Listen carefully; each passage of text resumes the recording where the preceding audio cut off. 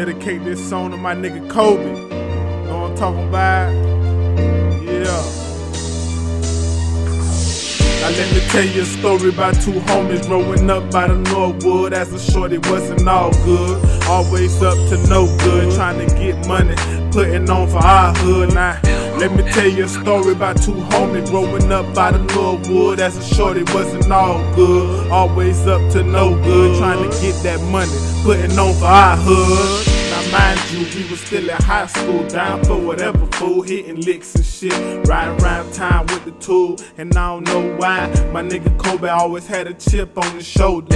He was the driver, I was the passenger. Saw a nigga ride candy paint sitting on sixes, so we followed this nigga to the back strip while I'm loading up them clips. Pull up on the side, roll the windows down, and we open fire on them punk bitches, trying to get them for them chrome things, but it took off before we could get them. Let alone, man,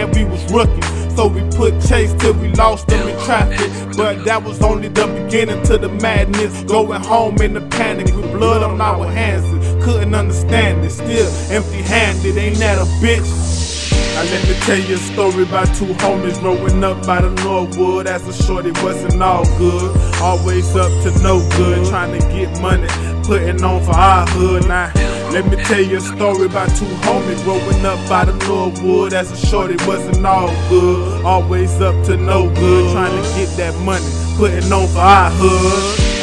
Time round, it was his turn, and we was determined to make sure we got something. Follow the nigga home. This time I drove, and he upped on Buddy. We got him for his gold chains and the rings on his fingers. Coby had a different approach to things. I was too reckless, but still checking out. We was getting good, just some petty crooks. But in school, no one knew about the dirt we would do. He was popular, playing ball as a QB. I was the low key type. He had all the hoes on his dick. I stuck the plot and trying to get right. And the years went by, grew apart, but still was tight. Rapping through the songwriting on the karaoke till shit called up to me for some other shit. Got three years in the penitentiary, had me missing in action till I returned back to the streets. Now let me tell you a story about two homies growing up by the Northwood. As a short, it wasn't all good.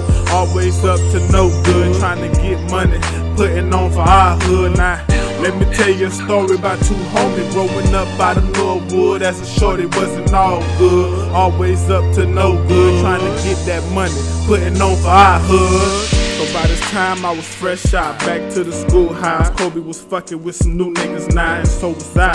But we still hung out. I saw he had a gift on the field and spit skills, so it was fuck hitting licks with him. While I got down with some little hating niggas that went by zombies, back to the old tricks again. Till J Rock got killed and Serge got flipped. So I decided to chill, and Coby had a girl he was in love with. But like in every relationship, they had their differences, but I paid no attention, minding my own business till one day I got a call by Coby on the news. Never knew he was snapping, do the ultimate. He saw 10 years going down the drain, so he shot his girl and turned the pistol on himself and blew out his brain. Through the whole hood for a loop, man. Now let me tell you a story about two homies growing up by the Northwood. As a short, it wasn't all good. Always up to no good, trying to money, putting on for our hood. Now let me tell you a story about two homies growing up by the Northwood. As a short, it wasn't all good. Always up to no good, trying to get that money, putting on for our hood. Yeah, it's my perspective of how, know, shit went down between me and my nigga, Coby. You know what I'm saying? Wish you ain't had to go out the way you did, but it is what it is.